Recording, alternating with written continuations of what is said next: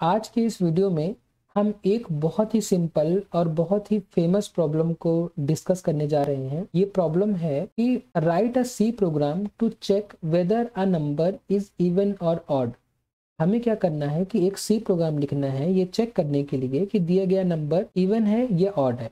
मतलब यूज़र हमें एक नंबर देगा एन हमें चेक करना है कि वो नंबर इवन है या ऑड है।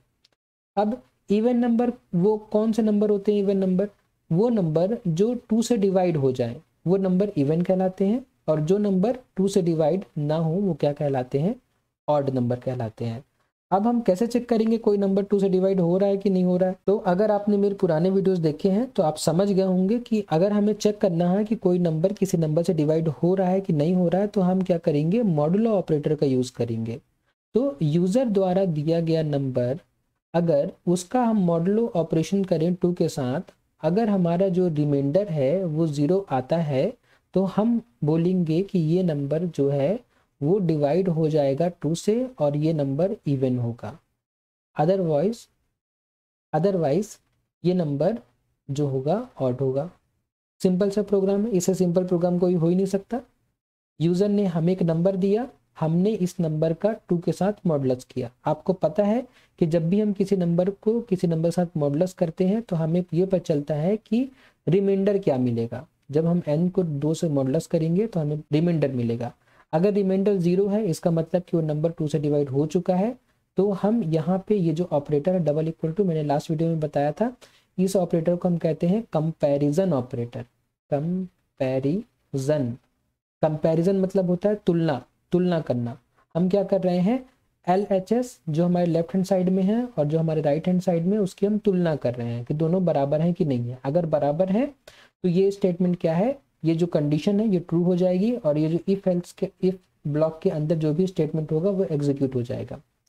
ओके आप सिंगल इक्वल टू और डबल इक्वल टू में बहुत ध्यान से, हमेशा ध्यान रखिएगा कि सिंगल इक्वल टू मतलब होता है असाइनमेंट ऑपरेटर असाइनमेंट असाइनमेंट मतलब असाइन कर रहे हैं। जैसे हमने लिखा कि ए इक्वल टू फाइव तो इसका मतलब क्या हुआ कि हम ए नाम के वेरिएबल में फाइव को असाइन कर रहे हैं। मतलब ए में फाइव आ जाएगा ओके ए नाम के वेरिएबल में फाइव स्टोर हो जाएगा। और जब हम ऐसा करेंगे A double equal to five इसका मतलब क्या होगा? इसका मतलब होगा कि ए में जो भी वैल्यू है, वो वैल्यू हम चेक कर रहे हैं, क्या फाइव है के बराबर है कि नहीं है? मतलब कि ए में जो वैल्यू है और जो फाइव है वो बराबर है कि नहीं है? अगर बराबर है तो हमें कुछ करना है अगर बराबर नहीं तो हमें कुछ करने कुछ। मतलब देखिए जब भी आप कंपेरिजन ऑपरेटर यूज़ करेंगे तो आपको ये इफ़ के अंदर ही यूज़ करना है ओके जब आप इफ़ के अंदर यूज़ करेंगे तभी से कोई सेंस बनेगा। अगर आप इफ़ बिना इफ़ के आप इसको यूज़ करेंगे तो सेंस नहीं बनेगा। आई होप कि आपको असाइनमेंट ऑपरेटर और कंपैरिजन ऑपरेटर में डिफरेंस समझ में आ, आ गया होगा और आपको ये भी समझ में आ गया होगा कि मॉडल ऑपरेटर क्या होता है।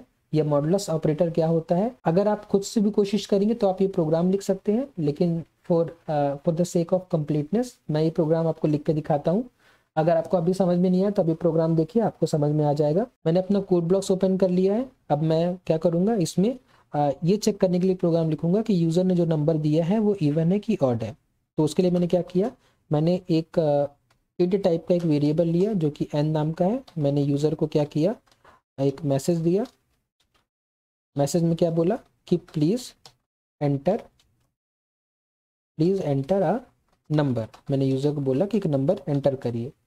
अब यूज़र ने नंबर एंटर किया तो मैंने उसको नंबर को रिसीव करने के लिए मैंने स्कैनअप यूज़ किया और परसेंटेज डी के स्पेसिफायर यूज़ करते हुए मैंने एन को रिसीव कर लिया।